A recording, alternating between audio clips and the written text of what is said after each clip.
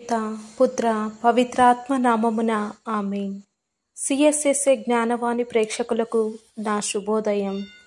ఈరోజు మనం ధ్యానించబోయే అంశం కన్యమాత. ఆ పవిత్ర హృదయ బిడ్డను కనకముందు కన్న తరువాత కూడా కన్యగానే ఉండిపోయింది. అందుచే క్రైస్తవ ప్రపంచం ఆమెను ధన్యురాలైన నిత్య కన్య అని కొనియాడుతుంటుంది. దేవమాత నీవు గర్భం ధరించి బిడ్డను కంటావు అని చెప్పగానే మరియా నేను పురుషుని ఎరుగను కదా ఇదెలా జరుగుతుంది అని అంటుంది. దేవదూత నీవు పురుషుని వలన కాని పరిశుద్ధాత్మ శక్తి వలన గర్భవతి అవుతావు అని చెప్తాడు. మరియా తన అంగీకారాన్ని సూచిస్తూ ఇదిగో నేను ప్రభు దాసురాలను నీ మాట చెప్పుననే నాకు జరగాలి అంటుంది.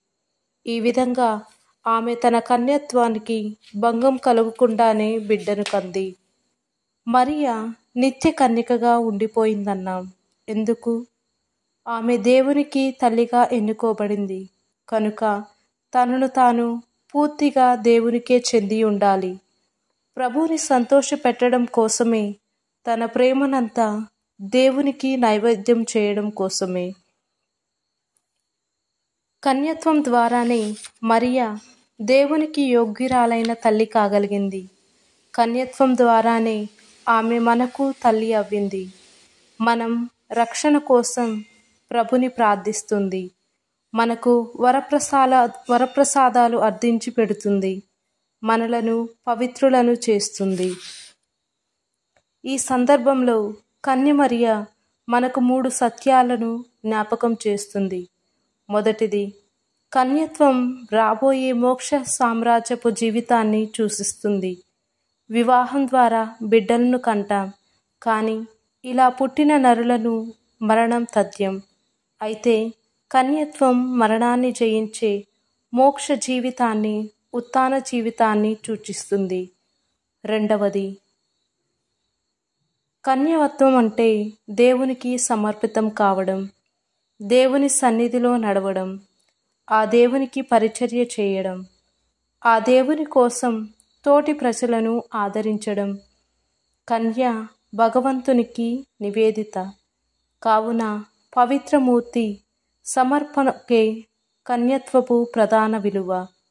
మూడవది కన్యత్వాన్ని మనంతటా మనం పాటించలేము.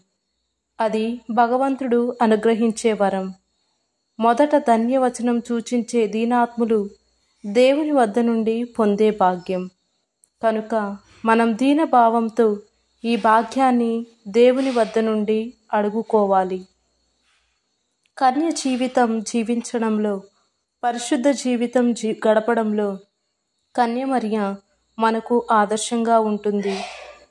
ఈ పరిశుద్ధ జీవితానికి విరుద్ధంగా వచ్చే శోధనలను జయించడానికి ఆ తల్లి సహాయపడుతుంది. కన్యమర్య వినయము మర్యాద ఆమె కన్యత్వాన్ని కాపాడాయి.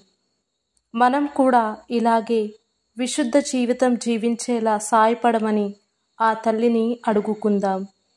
మనం ఈ దేహం జ్ఞానస్నానం ద్వారా ప్రభుకే నివేదితమైనది. కనుక మనం అశుభ్రవర్తనతో ఈ దేహాన్ని అమంగళపరచకూడదు. మనము మన దేహాలను శుచిమితంగా ఉంచుకునేలా సాయపడమని ఆ తల్లిని వేడుకుందాం.